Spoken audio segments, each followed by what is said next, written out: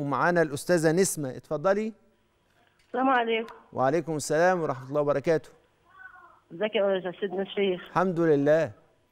إحنا نحبك في الله. ربنا يعزك ويزيدك نور وبركة يا رب. إحنا بنرتاح والله من كلامك كل يوم كده متابعينك الحمد لله. ربنا يحفظك ويزيدك نور وبركة ويبارك لك في صحتك وفي أولادك ويجعلك إن شاء الله في خير حال. بعد إذنك يا شيخ. اتفضلي. أنا ليا معاش يعني معاش جوزي يعني. طيب. فابني كان في كرب ومزنوق وكنت مجوزاه وكده فاتزنقنا جامد قوي بعد الفرح. طيب. فحبيت أساعده عملت له كرب امم يعني أنت اقترضتي ليه هو؟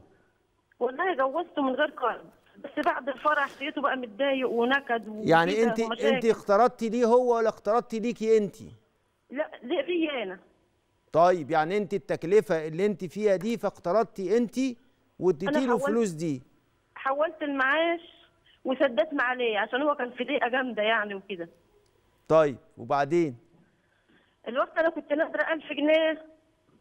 أنا عايزة بس تقول لي بعد ما أقفل عشان أسمعك في التلفزيون. حاضر قولي يا ست اتفضلي. آه، طبعا آه، ابني أنا معي ولدين. طيب. اللي جوزته دي شوف عايشنا يومين كده في زنقه وكرب كده. طيب. أنا قلت يعني إيه أحمل أنا الذنب زي بعض ربنا يغفر لي. أنا الحمد لله بيسيبنيش ولا وقت.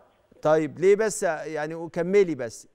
المهم إيه عملت له وهنسد أنا والله لسه ما صرفته بس بسأل قبل ما أصرفه. هصرفه يعني وأسد ما عليه. هل عليا ذنب؟ طيب يبقى أنت بتتكلمي إن أنت اقترضتي عشان تفكي كرب ابنك. آه. صح كده؟ و... آه. طيب وأنت ما كنتيش تعرفي الحكم أصلا؟ أنا عملت جمعيات وجوزته برضه لقيته ملطش وكده. فأنا ما حبيتش طب أ- سؤال هو أنت لما عملتي له الجمعيات والحاجات دي أنت بقى بقيتي مديونة أنت؟ أنت بقيتي. مديونة؟ هو- فلوس عليه هو. مش عليك أنت. مش عليا أنا والله يا شيخ. خلاص ال- القرض اللي أنت اقترضتيه ده سددي. القرض من عليه وأنت كانت نيتك طيبة وما كنتيش قصدك إن أنت تقترض الكلام ده أنت أردت إن أنت تخففي عنه وما كنتيش عارفة إن دوت ممنوع.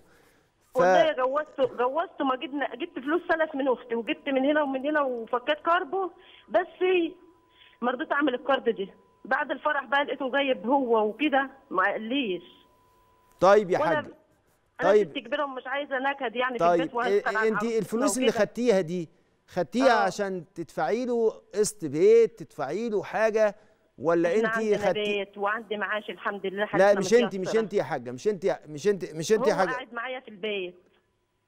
هو قاعد معاكي في البيت؟ آه.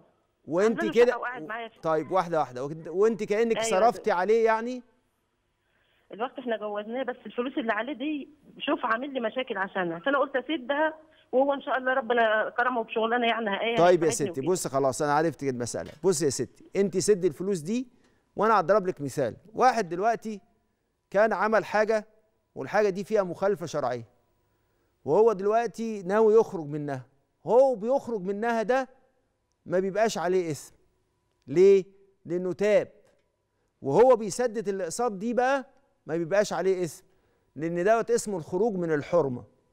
يبقى اذا إذا كنت أنت ما اقترضتيش الحاجة لمشقه ليكي أنت؟ ولتعب ليكي أنت؟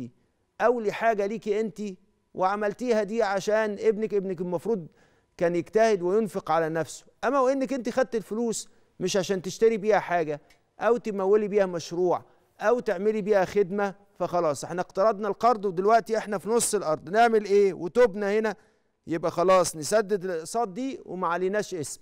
يعني أنتوا بتسددوا القسط ما عليكيش اسم.